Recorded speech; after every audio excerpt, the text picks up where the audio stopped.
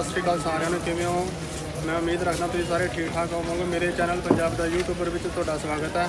ਜਿਹੜੇ ਮੇਰੇ ਚੈਨਲ ਤੇ ਨਵੇਂ ਆਏ ਨੇ, ਵੀਰ ਉਹ ਮੇਰੇ ਵੀਰ, ਮੇਰੇ ਚੈਨਲ ਨੂੰ ਸਬਸਕ੍ਰਾਈਬ ਕਰਕੇ ਅੱਜ ਆਪਾਂ ਪਹੁੰਚ ਚੁੱਕੇ ਹਾਂ ਜਲੰਧਰ ਦੇ ਨੇੜੇ ਕਰਤਾਰਪੁਰ ਸ਼ਹਿਰ। ਕਰਤਾਰਪੁਰ ਸ਼ਹਿਰ ਦੇ ਵਿੱਚ ਗੁਰਦੁਆਰਾ ਗੰਗਸਰ ਸਾਹਿਬ, ਜੋ ਕਿ ਪੰਜਵੇਂ ਪਾਤਸ਼ਾਹ ਤੇ ਛੇਵੇਂ ਪਾਤਸ਼ਾਹ ਦੇ ਜੋ ਕਿ ਪੰਜਵੇਂ ਪਾਤਸ਼ਾਹ ਤੇ ਛੇਵੇਂ ਪਾਤਸ਼ਾਹ ਦੇ ਕਰ ਕਮਰਾ ਨਾਲ ਵਰਸਾਇਆ ਹੋਇਆ ਹੈ। ਤੇ ਅੱਜ ਆਪਾਂ ਤੁਹਾਨੂੰ ਉਸ ਗੁਰਦੁਆਰਾ ਦਾ ਦਰਸ਼ਨ ਕਰਾਵਾਂਗੇ ਤੇ ਨਾਲੇ ਉਸ ਗੁਰਦੁਆਰਾ ਇਤਿਹਾਸ ਦੇ ਬਾਰੇ ਪੂਰੀ ਜਾਣਕਾਰੀ ਦੇਵਾਂਗੇ। ਤੇ ਆਓ ਆਪਾਂ ਵੀਡੀਓ ਸ਼ੁਰੂ ਕਰਦੇ ਹਾਂ ਤੇ ਪਹਿਲਾਂ ਤੁਹਾਨੂੰ ਮੈਂ ਦਿਖਾਣਾ ਗੁਰਦੁਆਰਾ ਸਾਹਿਬ ਦਾ ਬਾਹਰ ਦਾ ਵਿਊ ਤੇ ਫਿਰ ਆਪਾਂ ਅੰਦਰ ਦਰਸ਼ਨ ਕਰਨ ਚੱਲਾਂਗੇ।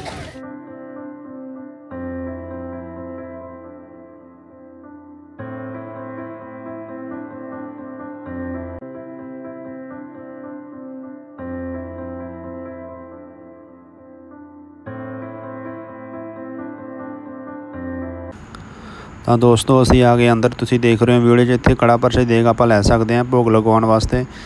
ਤਾਂ ਕੜਾ ਪ੍ਰਸ਼ਾਦ ਦੇ ਕਾਊਂਟਰ ਦੇ ਨਾਲ ਹੀ ਜੋੜਾ ਘਰ ਹੈਗਾ। ਇੱਥੇ ਆਪਾਂ ਪਹਿਲਾਂ ਆਣ ਕੇ ਜੋੜੇ ਜਮ੍ਹਾਂ ਕਰਵਾਵਾਂਗੇ, ਫਿਰ ਆਪਾਂ ਜਾਵਾਂਗੇ ਅੰਦਰ। ਤਾਂ ਤੁਸੀਂ ਦੇਖ ਰਹੇ ਹੋ ਵੀਡੀਓ 'ਚ ਦੋਸਤੋ, ਇਸੇ ਤਰ੍ਹਾਂ ਮੇਰੇ ਨਾਲ ਵਲੌਗ 'ਚ ਬਣੇ ਰਹਿਣਾ।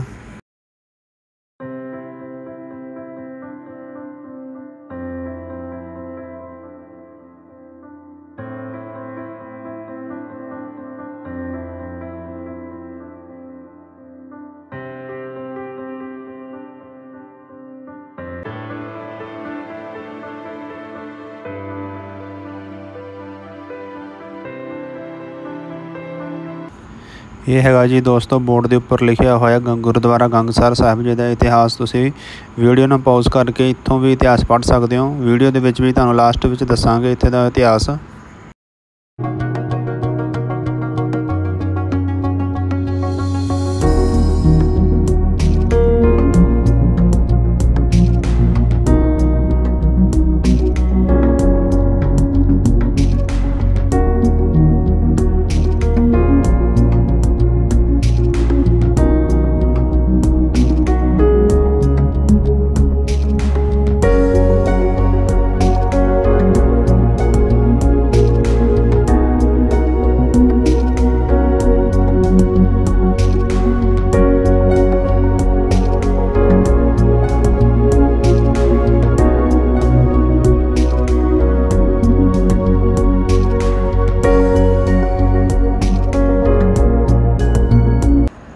ਇਹ ਹੈ ਦੋਸਤੋ ਪਵਿੱਤਰ ਖੋਜ ਜਿੱਥੋਂ ਪੰਜਵੇਂ ਪਾਤਸ਼ਾਹ ਸਾਹਿਬ ਸ੍ਰੀ ਗੁਰੂ ਅਰਜਨ ਦੇਵ ਜੀ ਨੇ ਵਿਸਾਖੀ ਰਾਮ ਜੀ ਦਾ ਗੰਗਾ ਵਿੱਚ ਰੁੜਿਆ ਹੋਇਆ ਗੜਵਾ ਇੱਥੋਂ ਪ੍ਰਗਟ ਕੀਤਾ ਸੀ। ਤੁਸੀਂ ਤੁਸੀਂ ਦਰਸ਼ਨ ਕਰ ਰਹੇ ਹੋ?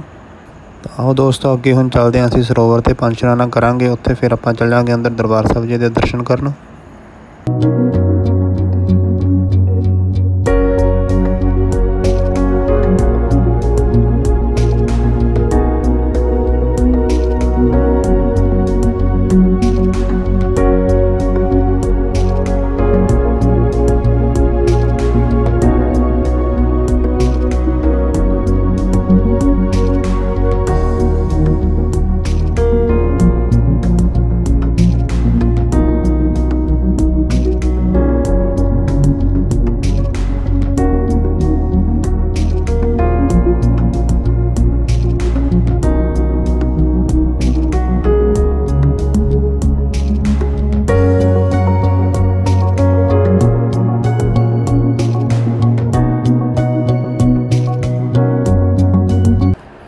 ਦੋਸਤੋ ਪੰਜ ਸਨਾਨਾ ਕਰ ਲਿਆ ਅਸੀਂ ਹੁਣ ਚੱਲਦੇ ਹਾਂ ਦਰਬਾਰ ਸਾਹਿਬ ਜੀ ਦੇ ਅੰਦਰ ਤੇ ਆਓ ਪੰਜ ਦਾ ਦਰਸ਼ਨ ਕਰੀਏ ਜੀ।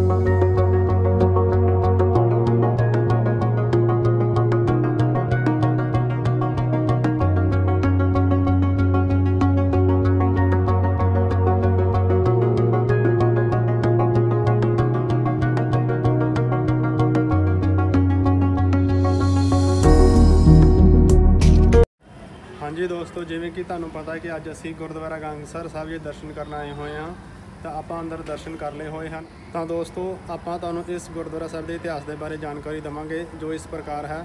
ਇਹ ਗੁਰਦੁਆਰਾ ਸਾਹਿਬ ਪੰਜਵੇਂ ਪਾਤਸ਼ਾਹ ਤੇ ਛੇਵੇਂ ਪਾਤਸ਼ਾਹ ਸਾਹਿਬ ਸ੍ਰੀ ਗੁਰੂ ਹਰਗੋਬਿੰਦ ਸੱਚੇ ਪਾਤਸ਼ਾਹ ਜੀ ਦੀ ਕਰ ਕਮਲਾ ਦੇ ਨਾਲ ਸੁਭਾਇਮਾਨ ਹੈਗਾ।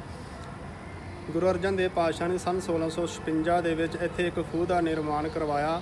ਜੋ ਕਿ ਲੋਕਾਂ ਦੇ, ਜੋ ਕਿ ਇੱਥੋਂ ਦੇ ਨਗਰ ਨਿਵਾਸੀਆਂ ਦੇ ਲੋੜ ਨੂੰ ਮੁੱਖ ਰੱਖਦੇ ਹੋਏ ਗੁਰੂ ਅਰਜਨ ਦੇਵ ਪਾਤਸ਼ਾਹ ਨੇ ਇਸ ਖੂਹ ਦਾ ਨਿਰਮਾਣ ਕਰਵਾਇਆ ਸੀਗਾ। ਤੇ ਪੰਜਵੇਂ ਪਾਤਸ਼ਾਹ ਸਾਹਿਬ ਸ੍ਰੀ ਗੁਰੂ ਅਰਜਨ ਦੇਵ ਜੀ ਨੇ ਆਪਣੇ ਸੇਵਕ ਵਿਸਾਖੀ ਰਾਮ ਦਾ ਵੀ ਭਰਮ ਦੂਰ ਕੀਤਾ ਸੀਗਾ, ਜੋ ਕਿ ਵਿਸਾਖੀ ਰਾਮ ਕੋਲੋਂ ਗੰਗਾ ਨਦੀ ਦੇ ਵਿੱਚ ਗੜਵਾ ਰੁੜ ਗਿਆ ਸੀਗਾ ਤੇ ਗੁਰੂ ਸਾਹਿਬ ਜੀ ਨੇ ਇਸ ਹੀ ਪਵਿੱਤਰ ਖੂਹ ਦੇ ਵਿੱਚੋਂ ਗੜਵਾ ਪ੍ਰਗਟ ਕਰਕੇ ਵਿਸਾਖੀ ਰਾਮ ਦਾ ਭਰਮ ਦੂਰ ਕੀਤਾ ਅਤੇ ਇੱਥੇ ਇਸ ਖੂਹ ਨੂੰ ਵਾਰ ਦਿੰਦੇ ਹੋਏ ਇਹ ਵਾਰ ਦਿੱਤੇ ਕਿ ਜਿਹੜੀ ਵੀ ਸਾਧ ਸੰਗਤ ਇੱਥੇ ਆਣ ਕੇ ਇਸ਼ਨਾਨ ਕਰਿਆ ਕਰੇਗੀ, ਉਹਨਾਂ ਦੇ ਮਾਨਸਿਕ ਅਤੇ ਸਰੀਰਕ ਰੋਗ ਦੂਰ ਹੋਇਆ ਕਰਨਗੇ।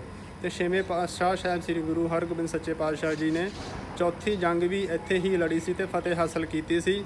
ਬਾਗੀ ਪਹਿੰਦੇ ਖਾਨ ਨੂੰ ਵੀ ਗੁਰੂ ਹਰਗੋਬਿੰਦ ਸੱਚੇ ਪਾਤਸ਼ਾਹ ਜੀ ਨੇ ਇੱਥੇ ਹੀ ਮਾਰਿਆ ਸੀ। ਸੋ ਇਹ ਸੀਗਾ ਗੁਰਦੁਆਰਾ ਗੰਗਸਰ ਸਾਹਿਬ ਜੀ ਦਾ ਇਤਿਹਾਸ। ਇਤਿਹਾਸ ਦੱਸਦੀਆਂ ਹੋਈਆਂ ਬੇਅੰਤ ਭੁੱਲਾਂ ਦੀ ਮਾਫੀ ਦੇਣੀ ਜੀ। ਜੇ ਤੁਹਾਨੂੰ ਮੇਰੀ ਵੀਡੀਓ ਵਧੀਆ ਲੱਗੀ ਹੈ ਤਾਂ ਮੇਰੀ ਵੀਡੀਓ ਨੂੰ ਲਾਈਕ, ਸ਼ੇਅਰ ਤੇ ਮੇਰੇ ਚੈਨਲ ਨੂੰ ਸਬਸਕ੍ਰਾਈਬ ਕਰਨਾ ਤਾਂ ਮਿਲਦੇ ਹਾਂ ਆਪਾਂ ਤੁਹਾਨੂੰ ਇੱਕ ਨਵੇਂ ਵਲੌਗ ਦੇ ਵਿੱਚ, ਨਵੀਂ ਜਰਨੀ ਦੇ ਵਿੱਚ। ਉਦੋਂ ਤੱਕ ਬਾਏ ਟੇਕ ਕੇਅਰ